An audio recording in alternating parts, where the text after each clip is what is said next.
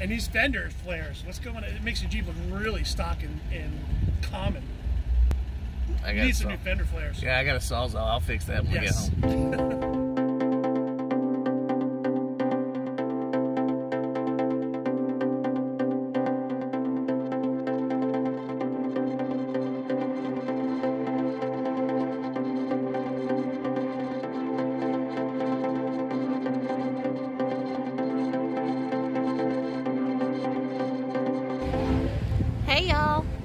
are at Myrtle Beach Jeep Jam, and this is kind of the end of the beach crawl. We were just getting some breakfast, but there was some, you could buy tickets to crawl on the beach, so we're checking out some cool Jeeps coming through, and I'm pumpkining them. I have rubber pumpkins. There's a whole bunch uh, decked out for Halloween. Look at this one coming up with a mermaid skeleton. Oh, even with the red hair, so it's Ariel. All the skeletons on this one coming up.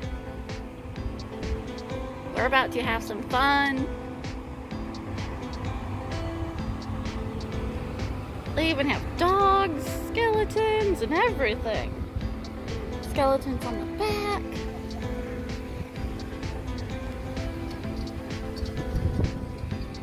So Halloween, uh, today is Friday and Halloween is on Sunday. So there's a whole bunch of Jeeps decked out for Halloween. A whole bunch of different decorations, a lot more skeletons than there was at Jeep Invasion and Pigeon Forge.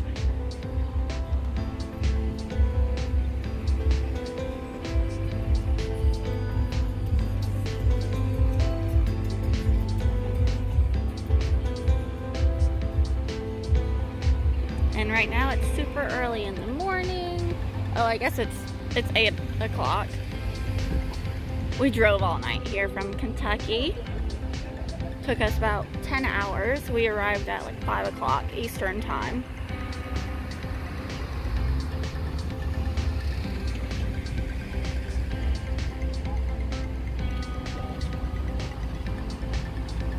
Is this a Willys?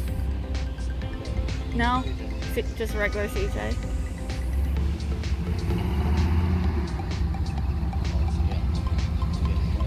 Oh, I was right. Oh, never mind. I was wrong.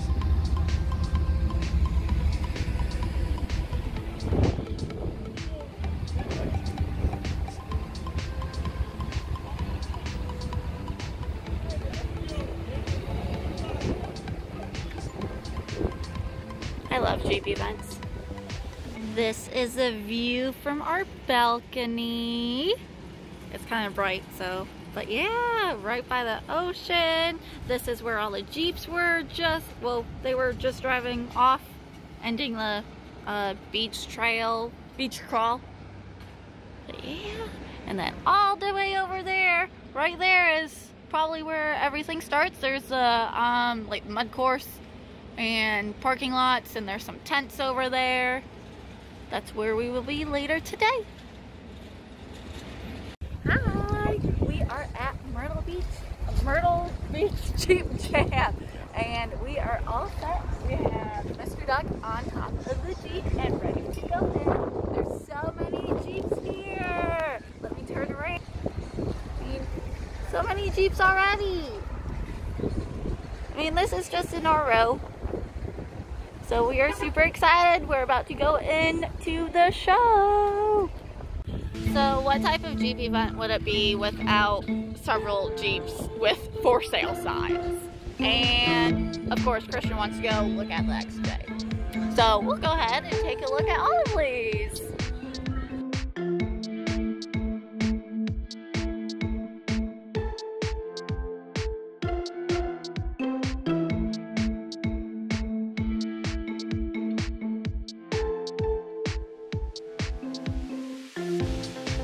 Automatic. Oh, boo-hoo. Let's go take a look at the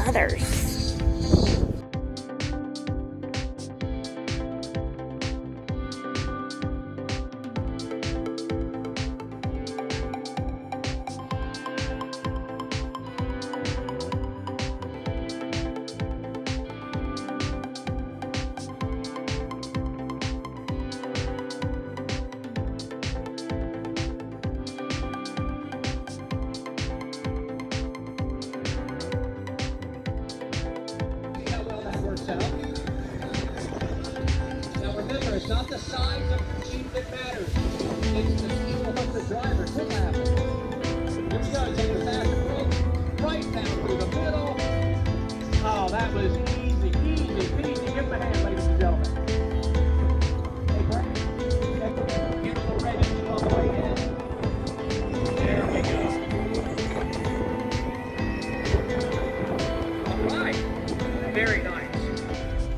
We're gonna find out what's in our swag bag. We already put a couple t-shirts in here. So we got a couple green t-shirts for us. We bought those ones. And then we got the event shirt that was included in registration. Got one of those for each of us as well. And then a koozie.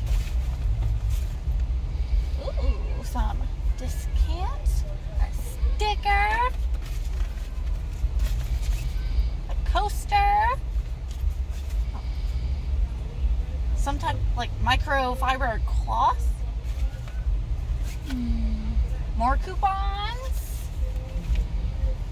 Ooh, a towel. Seems like that's all, but cool swag bag. So this place is very interesting. We're in a parking lot right outside the hotel and this dude's just doing yoga in the parking lot, like on the sidewalk. Like, is this Myrtle Beach? I guess so. I guess this sums it up. I mean, I mean, the beach is like 30 yards that way. But if I was going to come and do yoga at the beach, I'm doing yoga on the beach. But he's doing it in the the driveway. Yeah. Yeah. Very interesting people around here. We are sitting out in the parking lot with our friend Rich. He's over there. Can you see him? You can kind of see the duck shirt over there. But anyways, so we're sitting here and he's making fun of Christian for his stock JK. Stock height anyways. So Christian's like, well, order this for me. Pulled up on Amazon, a two and a half inch puck lift until we can uh, until he saves up enough money to get the big lift that he wants. Little, oh, little baby this, Jeep. yes, this is our friend Rich. Hello. So that is gonna be at the house when we get home on Sunday. You just cost me $200. My stock Jeep is much taller than your stock Jeep. Yes. well, you're also sitting on Rubicon shocks.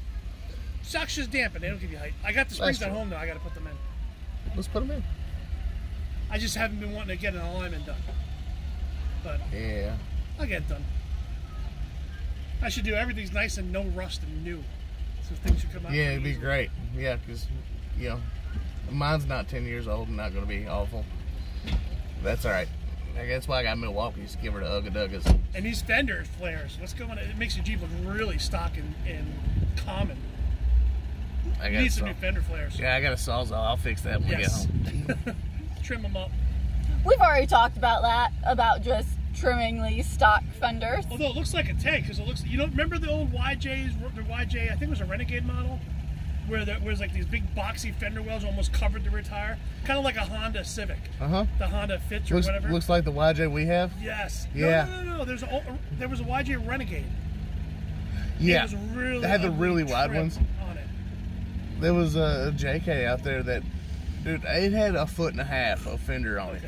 It was awful. That's all I got to say for now.